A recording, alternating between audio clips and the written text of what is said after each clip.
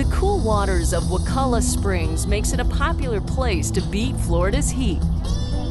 Tourists lounge on the main beach, while the locals prefer the opposite bank. Despite the cold-blooded company, people have visited these historic springs for years. But for how long is a mystery archaeologists hope to solve? National Geographic grantee Jim Dunbar and his research team are searching for signs of the first Floridians, Ice Age people who may have come to Wakulla for a spring break over 10,000 years ago. If you could project yourself back into time, uh, you would see a Florida that looked like the Serengeti in terms of the animal population it had. And where would animals go like that? They would come around maybe oases where there was plentiful water resources and with uh, say large herbivores that come in, what else would come in? The predators. It could be a saber-toothed cat, it could be something like that, or it could be people. The crew is hoping to hit pay dirt, prehistoric tools left behind by an Ice Age hunter. In the search for Stone Age tools, digging's done the old-fashioned way. Each bucketful gets carefully screened for the smallest clues. And the sand itself is helping geologists unlock the age of their discoveries. Quartz crystals in the sand naturally emit a radioactive signal that gets reset when exposed to light. By testing the signal, geologist Jack Rink can tell how long ago this sand layer was buried. Jack takes a core sample to study in his lab and gets a reading on radiation levels. In a couple of months, we'll know how long it's been since this sand was last exposed to light.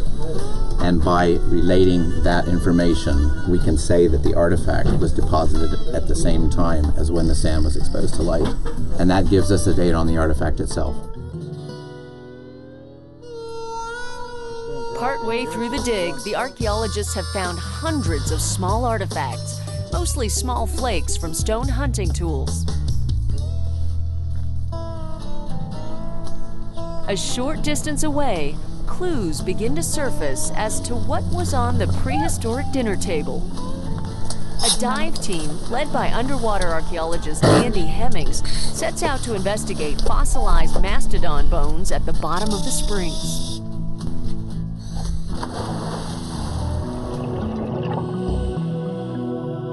It's forensic science at 25 feet deep.